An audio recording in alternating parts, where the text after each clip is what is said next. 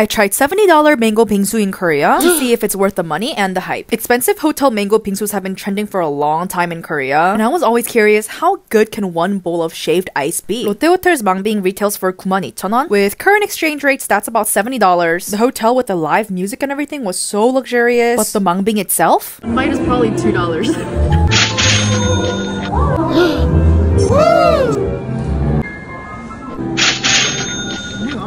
It's not like something. Wasn't? Ice itself tastes like mango. It's like super duper flaky. And my final honest review, the bingsu tastes like luxury. Apple mangoes are really expensive in Korea and they give you big fat chunks. They're sweet, juicy, and they go so well with the ice. For me, the price point is justified because of the ambiance and the overall experience. Let me know in the comments if you would try.